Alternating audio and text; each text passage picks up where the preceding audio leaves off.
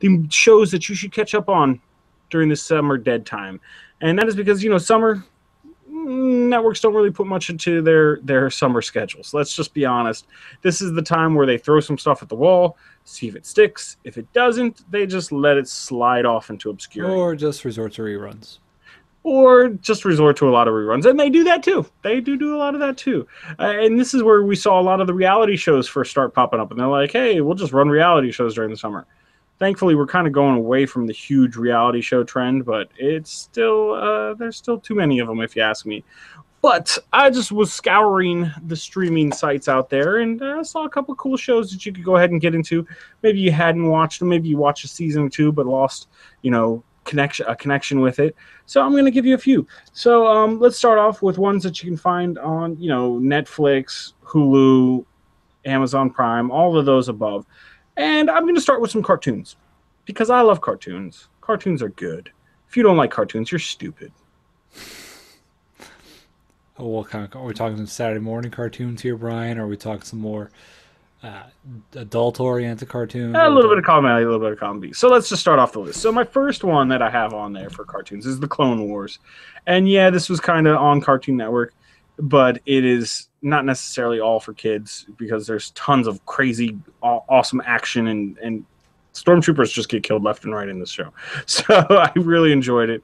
It had its dark themes, but it also you know had the the good stuff. And I thought it was a really good transition for the Star Wars universe between numbers two and three. It was actually the best part of the prequel series, if you ask me. Um, it was better than all three movies put together times five. I'm so. to disagree with you.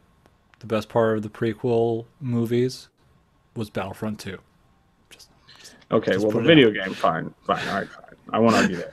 Um, so you have Clone Wars. There's about six seasons out there, plenty of shows to catch up on, and they are all epic. They're all like a half hour long, and it feels like you're watching like the most epic movie every single time. So it's awesome. Check those out.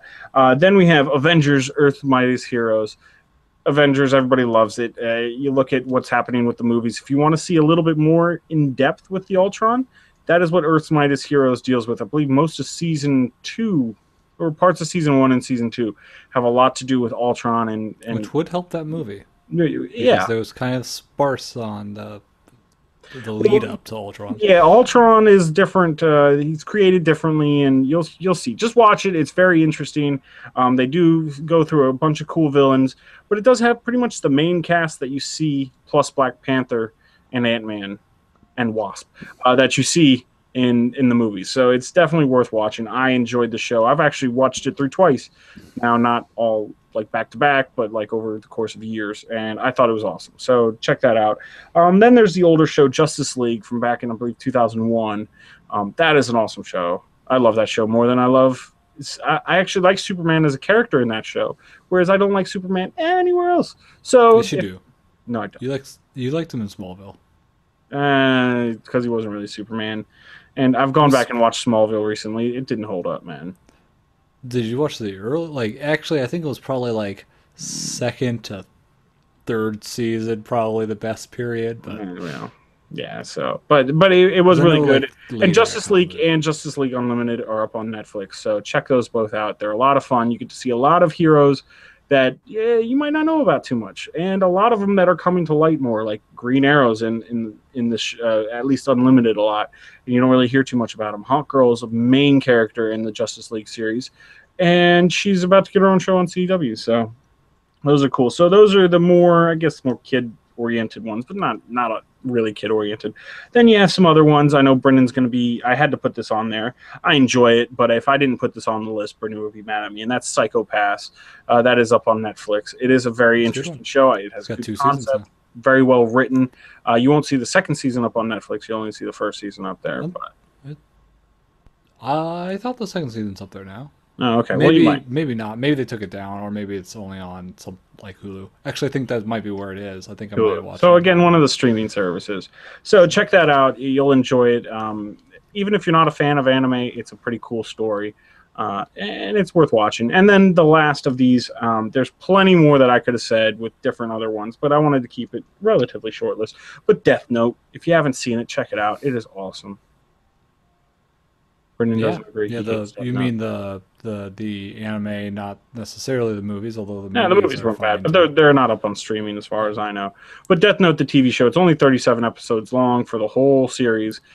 It does kind of fall apart a little bit towards the end, but the the but majority of keeps that. you but it keeps you on on edge and wanting to see more for for so long. It's Yeah. like a giant chess game, it is a giant chess game that you actually want to watch because and it's actually a TV show that uh, it seems like they were like, okay, let's sit down and let's weave an intricate story. Some of these, especially animes, it feels like they're just like, okay, so here's how we want to start it, and then here's how we want to end it, and let's just figure out our way to connect the dots.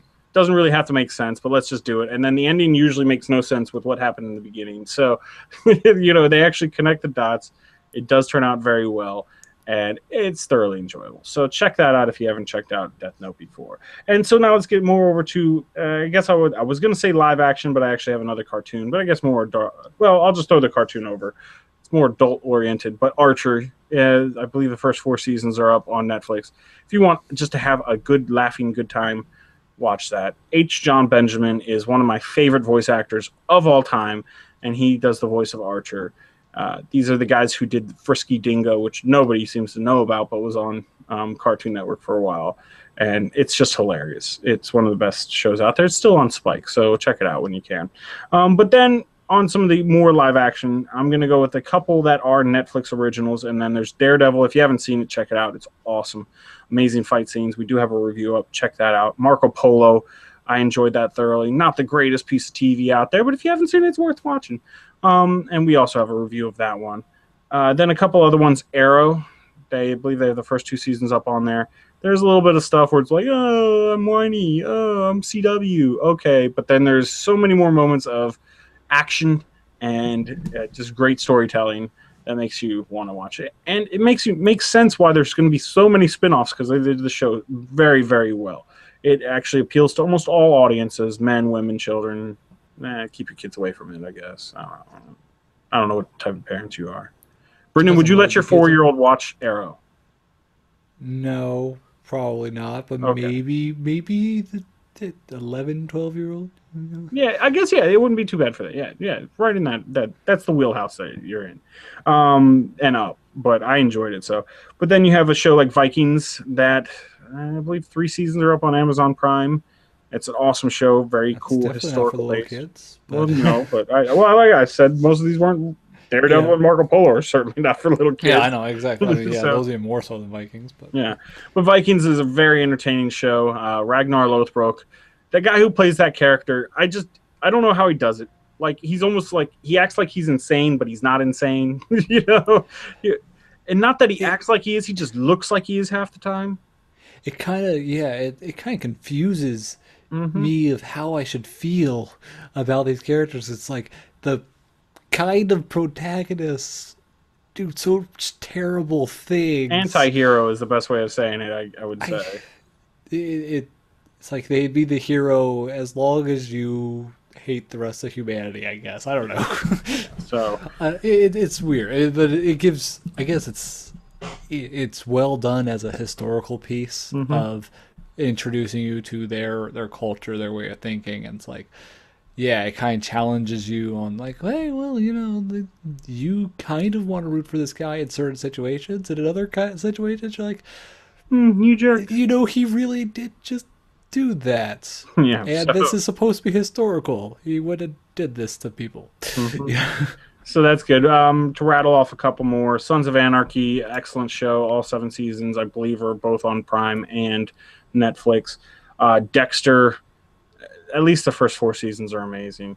And then the one that you have to watch, if you haven't watched it, I don't know what's going on with you. You've only had like 15 years to watch it, and that's Firefly.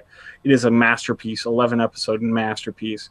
It's it it baffles my mind how it hasn't how it didn't get picked up as a season two and then after you're done watching the first well the only 11 episodes go ahead and watch the movie serenity and you'll, you'll just be like what happened what what, Yeah. what are they doing I joss the whedon theory I, I ever heard for why that didn't. it was just too good It was too expensive. yeah maybe but it was It is a was pretty. Ex- it, you can tell it's a pretty expensive. It was for a excellently done. TV show. yeah i want to say it was back in 2001 was when that came out it was amazing It was absolutely amazing. So that's our list. Uh, so check it out. Those are the things to keep you going through this summer dead zone TV time. Uh, hit us up. Let us know any other ones we left, left off the list, or is there any of these that you haven't watched that you're excited to go watch? Let us know. Comments down below, of course, at Words My Face on Twitter, Google Plus, and Facebook. Always good ways of getting hold of us.